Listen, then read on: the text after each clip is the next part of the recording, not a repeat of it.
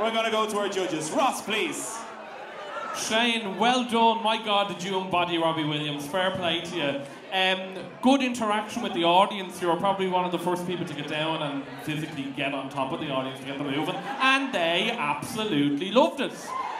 I do not envy you. You'll have baby wipes for the next 10 days trying to get that makeup off. But fair play to you. Good lip syncing and good interaction with the audience. Good man. Congrats. There has already been a few text messages here complaining about what he put in their face, but I'm not going to say what it was. It was the confetti. Laura.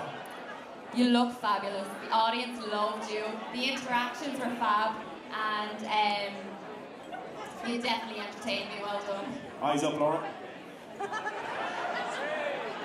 Shane, for me, that was the performance of the night so far. That's my favourite. I thought you were brilliant. And Valerie.